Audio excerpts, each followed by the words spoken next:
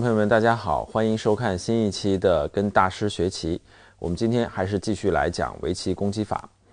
啊，围棋攻击法呢是坂田先生的一部巨著，它其中汇集了大量的坂田先生在这个生平的实战，呃，都是跟这个进攻相关的，也是非常能充分的体现坂田先生这个剃刀般锐利的棋风的呃一本书。呃，好的，我们今天来看一看我们要讲解的这个局面。呃，这盘棋呢是坂田先生执黑，他的对手叫做洼内秀之，也是一个九段啊。呃，好的，还是我们的老套路啊。首先要在进攻之前，我们先要锁定一个进攻的目标。我们看现在，呃，布局刚刚结束，进入到了中盘阶段。黑棋的这一块棋没有完全安定。白棋的这块棋，毫无疑问是我们要接下来要锁定的一个进攻的目标。那现在黑棋这块棋呢，暂时也没有安定，因为很很明显，白棋上一步棋是在这刺，下一步马上就要冲过来，呃，要分断黑棋。那么在这个时候，黑棋呃应该怎么进攻呢？呃，实战坂田先生呢是先在这儿刺，这是一个非常非常犀利的一步，就是反刺。呃，这步棋呢其实也非常直接，也很简单。它是一个进攻的前奏，白棋如果接住，啊，在这防断，那么这个就非常的怎么说呢？就是，呃，就是这个局面就变得非常的清楚了。那么被黑棋一冲断，呃，这盘棋基本上就结束了。因为黑棋不仅把这个自身两块这个薄棋联络，而且吃了二十余目的这个呃实地，那么白棋显然是完全不能接受的。当然了，这个挖内修之他也是一个九段大高手啊，他。对自己的这个棋形上面的这个防守还是有一套的，呃，白棋当然也做了充分的准备。实战白棋呢是在这挤，这个挤是一个妙手，就是挤的呃时候呢，它是一个命令型，它要断黑棋。呃，同时呢，它通过有了这一步棋之后，把自身的这个冲断的这个毛病就给防住了。但是黑棋冲。啊，通过这一个系列的交换呢，黑棋是先手把白棋的这个棋形啊破坏掉。呃，我们说这是进攻的前奏，也是呃准备工作吧，就是先把对方的棋形破坏掉，呃，把对方变成一个完全可被进攻的一个姿态、一个造型。白棋接，有了这些交换之后，黑棋再把这接回来。我们看现在白棋这一整块棋啊，一只眼都没有。呃，而黑棋它面对的是黑棋这个两边的夹攻，可以说在夹缝中求生存是一个非常苦的一个棋形。白棋冲，黑棋挡住，这个是白棋的先手权利。实战的白棋冲了点，黑棋接，交换之后，白棋再出头。好的，那么下到这儿，棋局进行至此呢？可以说，我们棋开始进入正题了。接下来，黑棋该如何进攻？这个命题是一个非常非常有趣的一个命题，也是一个很很很有趣的一个局面。我们来看一下啊，还是仔细分析一下这个局面。毫无疑问，白棋这块棋现在是一个黑棋的猎物，一个目标。但是，黑棋实际上呢，这一系列的交换没有解决一个问题，就是我们刚才说的，黑棋自身的这两块棋呢。还是没有完全安定。最容易想到的就是这个地方黑棋存在缺陷，被白棋搬出来，是很厉害的一步棋。这个搬出来很犀利。呃，黑棋这块棋显然就被白棋分断了。不仅如此呢，黑棋右边也会受到一些影响吧，感受到一些压力。那么最简单的方式呢，就是联络、退或者跳，这是最容易想到的，因为。呃，怎么讲？就是毛这个地方有毛病嘛，我们就来防一步。不过这个防守呢，可以说是完全的单纯的防守，是没有任何的这个，就本身这步棋是没有任何价值的。同样是防守呢，它其实只是解决了一个问题，就是解决了黑棋这块棋的问题。对，那么白棋就可以，比如说从这儿正过来，或者如果稳健一点的，可以从这儿小跳。我们看白棋从这儿跳过来的时候，啊，抱歉，这个地方没有。白棋从这儿跳过来的时候呢，黑棋这块棋其实还是一个怎么说呢？不活的一个状态。啊，虽然它不是一个，我们可以说它不是一个这个很危险的一块棋哈，这个谈不上，但是它毕竟没有活进。所以说呢，如果被白棋从这儿跳过来的时候，我们看黑棋的这块棋，它其实是要去处理的。比如说你是要去跟着白棋走的，无论怎么走，就是黑棋在这边无论呃走了多少步棋，其实它都是没价值，可以说是毫无意义的。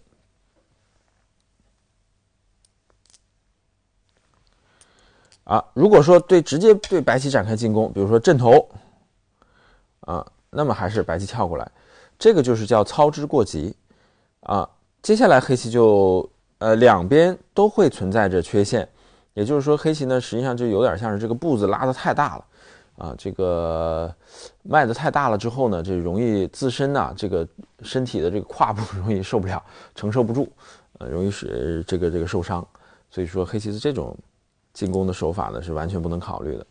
同样的，你如果从这儿进攻的话呢，啊，那这个地方存在缺陷。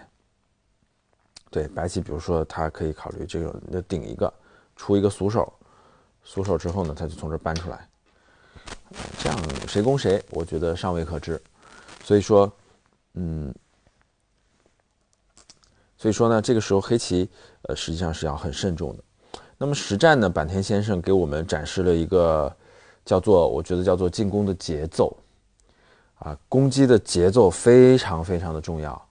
我们说刚才呃，之前我们说过这个攻击的策略很重要，就是你要达到什么样的目标，就是我们不能呃盲目的进攻，不能乱攻。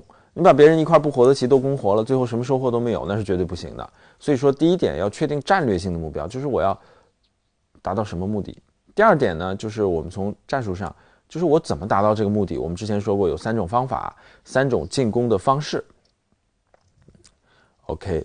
呃，直线型进攻、曲线型进攻、撒网式进攻，那么通常是用这三种方式进攻。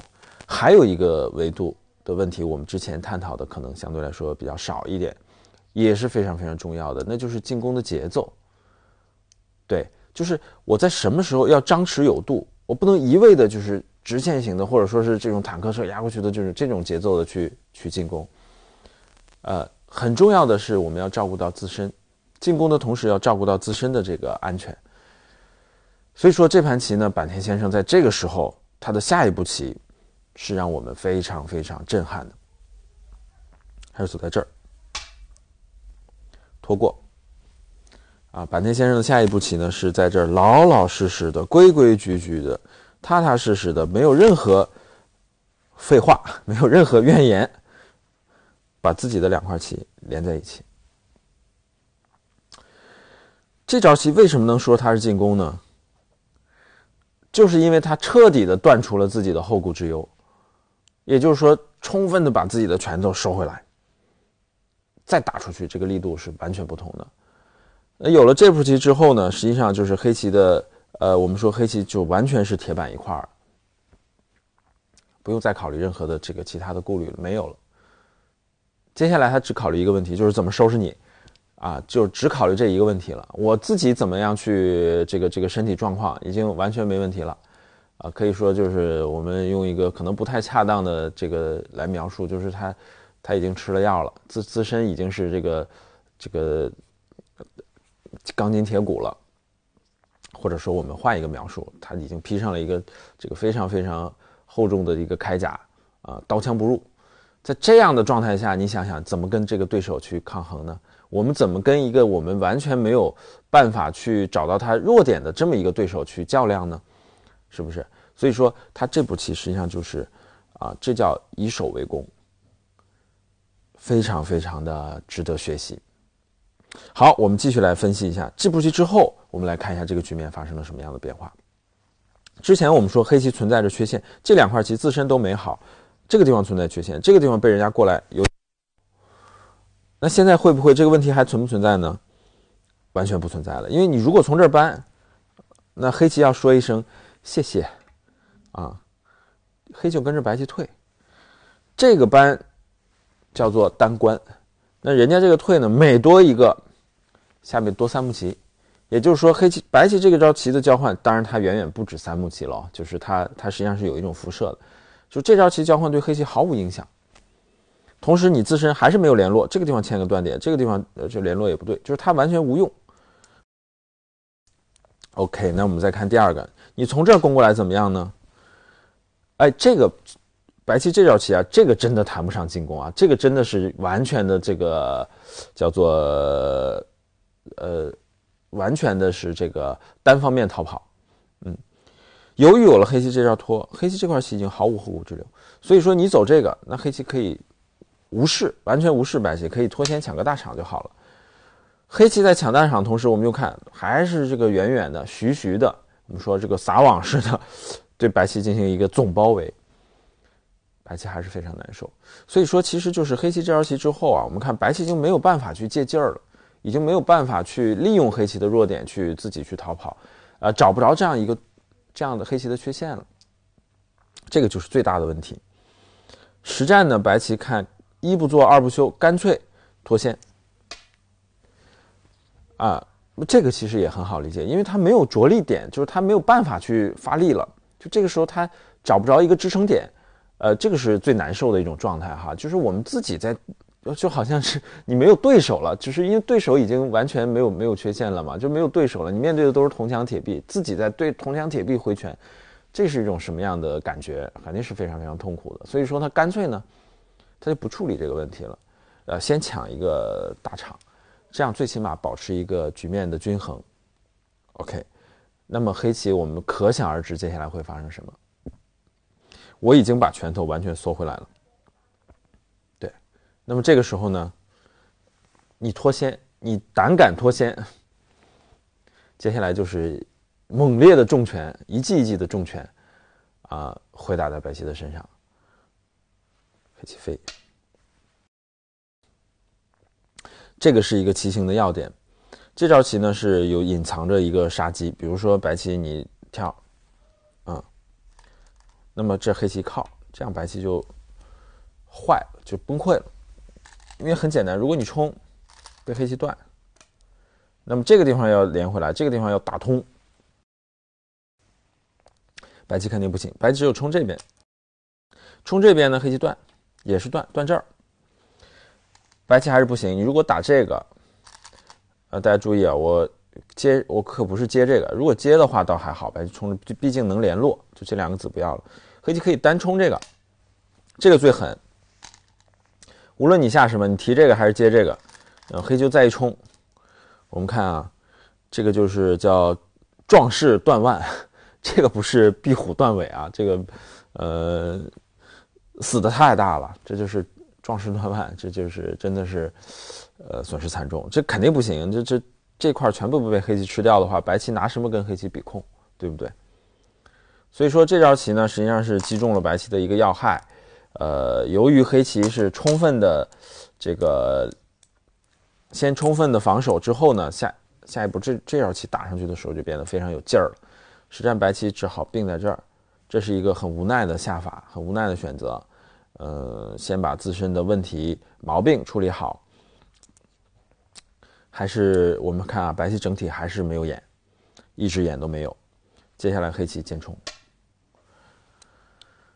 啊。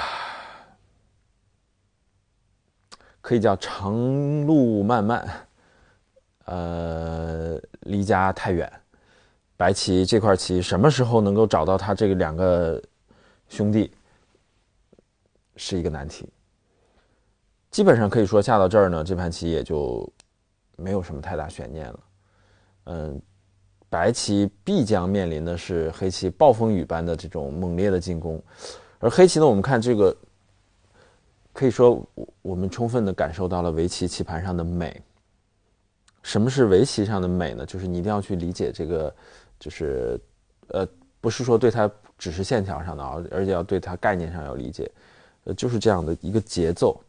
先把自身防守之后呢，黑棋再是这个，呃，水银泻地般的这种攻势，飞尖冲。我们看这个线条也是非常的美啊，同时这个线条也是非常的美。啊，这样歘，像一道利剑一样的把白棋分割开来，这颗子和这块棋的这个联络分割开来，啊，白棋痛不欲生。呃，所以说我看了这盘棋之后呢，我觉得还是非常感慨，很有收获。就是我们经常在进攻的时候犯的一个错误，就是发力过猛。